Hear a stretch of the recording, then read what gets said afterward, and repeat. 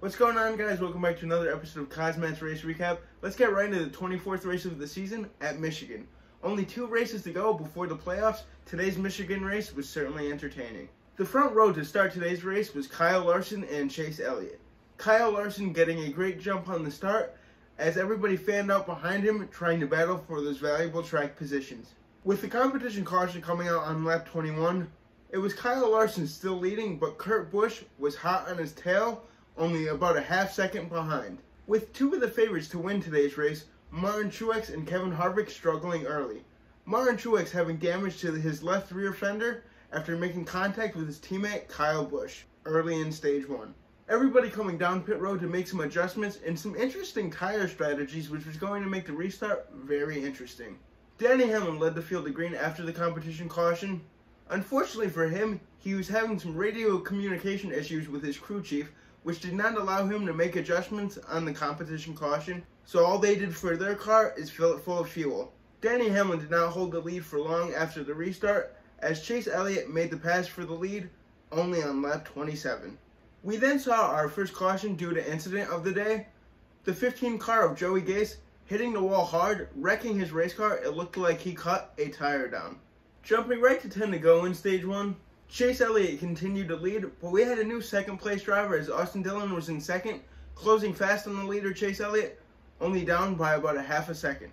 Chase Elliott able to hold on to get the stage win over Austin Dillon and a hard-charging Kyle Larson. Stage 2 kicks off with two Team Hendrick drivers leading the field to green, Kyle Larson and Chase Elliott, after an intense race off of pit road. Kyle Larson getting a great jump off the top on the restart, with Austin Dillon making an aggressive move, moving his way into second place. Jumping right to the halfway point of stage two, we saw the battle of the top three for the lead. Chase Elliott, Kyle Larson, and Kyle Busch.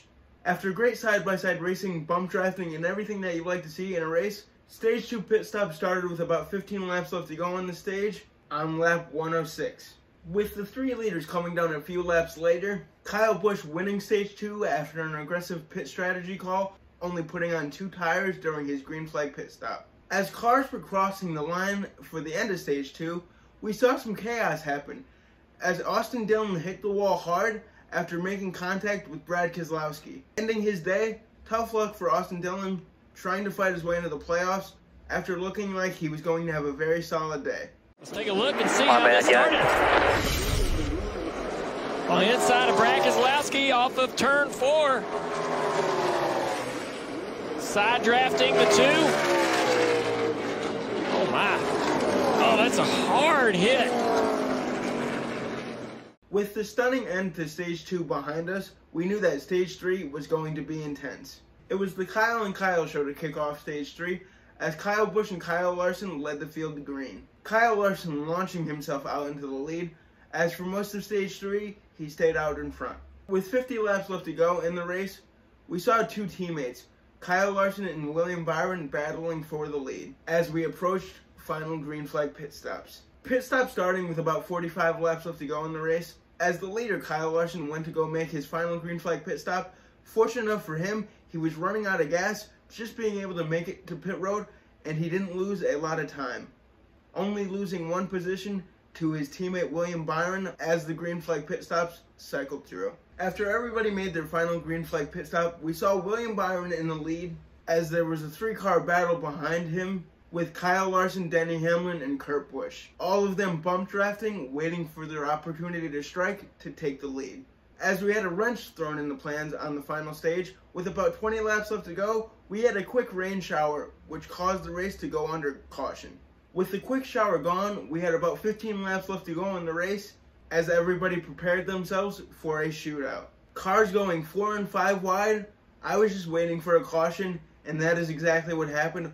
With cars spinning such as Joey Logano and others, Joey Logano ending his day as he had suspension damage. As we buckled up for one more restart. After an intense and crazy few laps, you'll have to see to believe it, so I will show you a video clip right here. Green flag back in the air. Ryan Blaney shoved out front. Williams got some momentum. One last opportunity. Into three and four. Blaney has the lead. Byron goes high. Blaney's going to win in Michigan.